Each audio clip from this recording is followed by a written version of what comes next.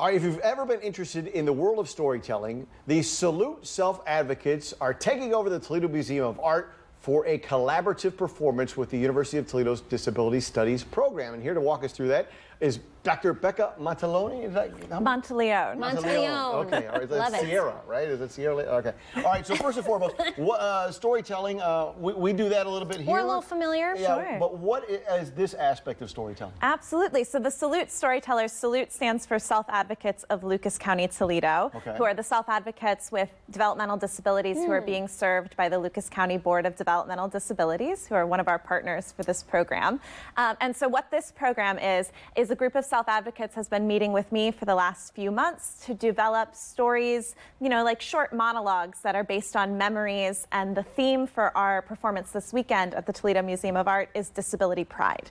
And so these are all stories about being proud of who you are, about celebrating our differences, about learning how to love yourself. And so um, this weekend we'll be performing at the Toledo Museum of Art in the Glass Pavilion at 3 p.m. on Saturday. Um, we will have about 10 storytellers, and we will also have a performance from iDance, who are the Adaptive Performing Arts Center here.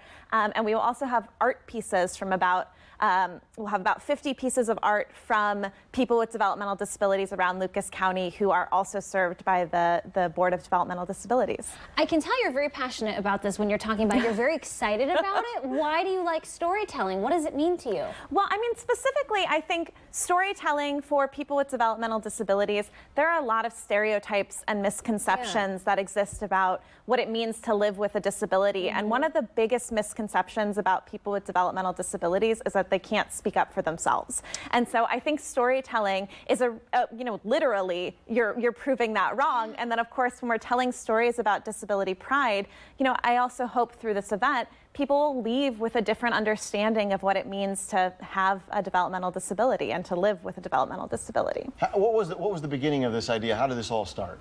Well, so I have been teaching uh, storytelling workshops for about you know five years now with with people with disabilities. And then for the last two years we've had this partnership with the lucas county board of developmental disabilities.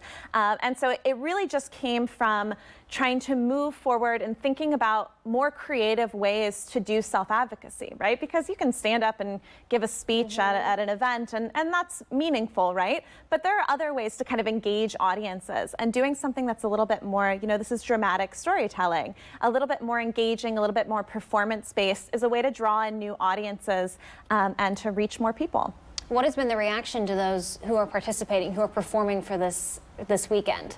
Well, I can tell you that this is the third event that the Salute Storytellers have run, and there have been people who have been in every single one of them, right? So the thing that you find is that, you know, we had a rehearsal last night, and one of the storytellers asked me, when is the next time that we're doing this, right? So there's really kind of a feeling of empowerment that comes from telling the story about yourself that you want to tell, that is meaningful for you to tell to an audience in your community.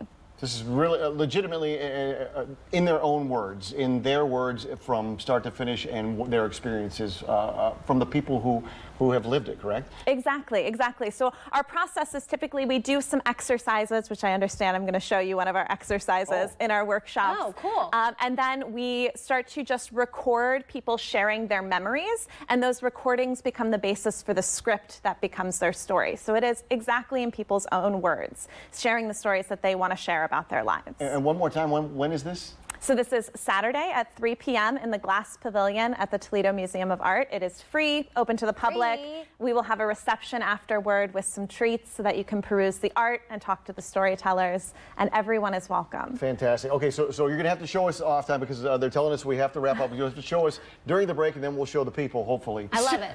sure. Thank you so much. Yeah, Yeah, thank it. you so much for having All me. right.